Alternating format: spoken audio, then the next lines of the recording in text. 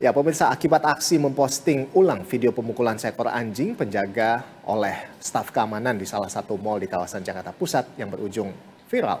Si pengunggah pun meminta maaf kepada publik melalui laman Instagram pribadinya. Ia menyebut sadar ada banyak pihak tersakiti akibat postingan ini.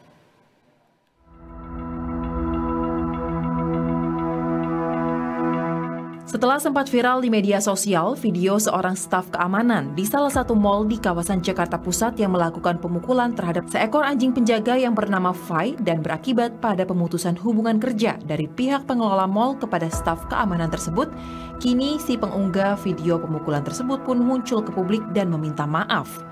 Pasalnya belakangan diketahui alasan anjing tersebut dipukul pada bagian moncong karena anjing tersebut menerkam seekor anak kucing yang mengakibatkan anak kucing tersebut menggelepar kesakitan di jalan.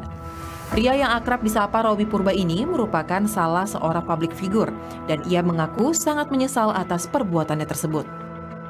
Saya Robi Cesar Titian Surya Purba meminta maaf kepada semua yang telah dirugikan oleh aksi aku dan kepada Bapak.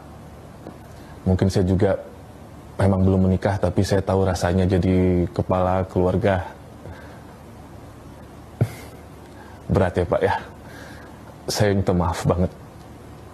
Hmm, kalau butuh apa-apa, apa pun itu, hati saya, tangan saya, pintu rumah saya terbuka buat Bapak.